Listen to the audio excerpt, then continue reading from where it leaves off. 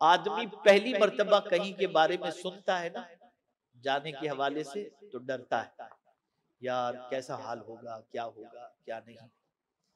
लेकिन एक बार होकर के आ जाते हैं जैसे खुद हम हम अपने सफ़र के हवाले से एक मिसाल के ज़रिए समझा रहा हूँ कि बगदाद शरीफ का सफ़र 2018 में मुझे करना था मैं एक बार पहला सफ़र मैंने किया था उन्नीस सौ छियासी में बगदाद शरीफ कमो बेश उसके बाद 2018 में गया तो लोग बहुत डराते थे।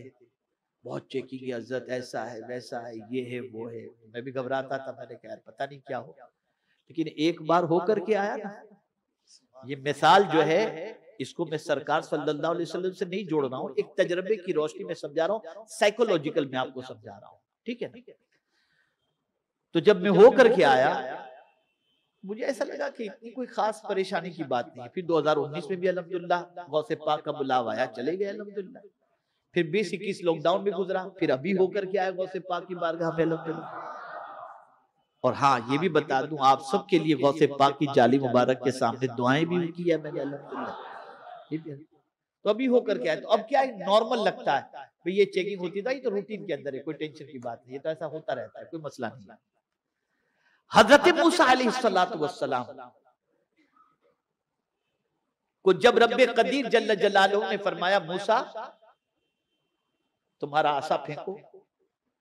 जैसे ऐसा फेंका मूसा सलात सलाम तो सांप बन गया घबरा गए और भागने लगे। तो रब ने फरमाया वला तखाफ। मूसा डर मत। डरो मत। मूसा। हज़रत मूसा सलाम का खौफ निकल गया। फिर उस असे को अल्लाह ताला ने फिर असे की शक्ल अता फरमा दिया आपने फिर पकड़ लिया उस असा को। तो असा असा हो गया। और जब हज़रत मूसा का मुकाबला जादूगरों से हुआ। मूसा अलैहिस्सलाम के मुकाबले में सांप जब छोड़े गए तो मूसा अलैहिस्सलाम का डर निकल चुका था। असा से मुतालिक डर निकल चुका था इसलिए कि पहली बार उसे सांप होते देखकर डरे थे तो मौला ने फरमा दिया था ला तखफ मूसा डरो नहीं। ठीक है ना? तो अब हज़रत मूसा से फरमाया कि अब तुम तुम्हारा ऐसा रखो। जैसे ही ऐसा ज़मीन पर डाला और सांप बन गए तो मूसा को कोई घबराहट नहीं तवज्जो चाहूँगा, मूसा को कोई घबराहट नहीं हुई। परवरदिगार ने अपने महबूब सल्लल्लाहु अलैहि वसल्लम को महराज का सफ़र कराया। आओ मेरे महबूब, जन्नत भी देख लो, जहन्नम भी देख लो ला मका की सैर भी कर लो अर्श भी देख लो सब कुछ देख लो। मलाइक को भी देख लो सब कुछ देख लो।